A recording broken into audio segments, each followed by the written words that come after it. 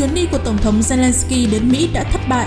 Dù được chào đón trong chuyến thăm Washington mới đây, nhưng danh sách vũ khí mà Tổng thống Zelensky mong muốn Mỹ cung cấp cho Ukraine đã hầu như không được chấp nhận. Theo Japan Times, chuyến thăm của Tổng thống Volodymyr Zelensky tới Washington tuần này đã kết thúc, nhưng nhà lãnh đạo Ukraine đã không đạt được mục tiêu của mình. Dù Washington hứa hỗ trợ thêm hàng tỷ USD cho Ukraine để chống lại Nga, nhưng không phải là thứ ông Zelensky mong muốn nhất. Đó không phải là những chiếc xe tăng chiến đấu, chiến đấu cơ và tên lửa chính xác tầm xa tối tân nhất của Mỹ.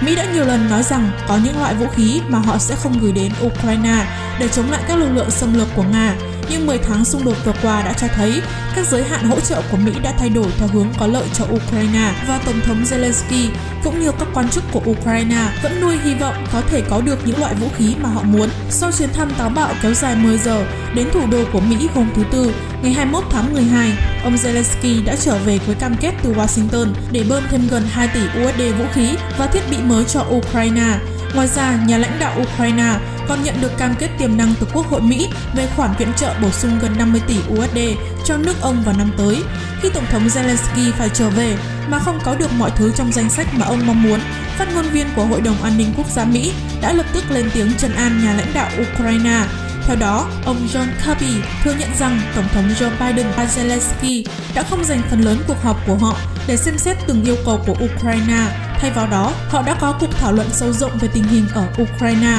và tương lai sẽ ra sao. Theo ông Kirby, Ukraine hãy yên tâm rằng Mỹ sẽ hỗ trợ thêm cho nước này. Hiện tại chúng ta là gì và giá trị bao nhiêu vẫn chưa được xác định, ông Kirby nhấn mạnh hôm 22 tháng 12 và khẳng định Mỹ cam kết sẽ cung cấp các thiết bị mà Ukraine cần. Theo các nhà quan sát, chuyến đi của Zelensky là minh chứng sống động cho chiến lược lôi kéo và gây áp lực lên các đồng minh của ông.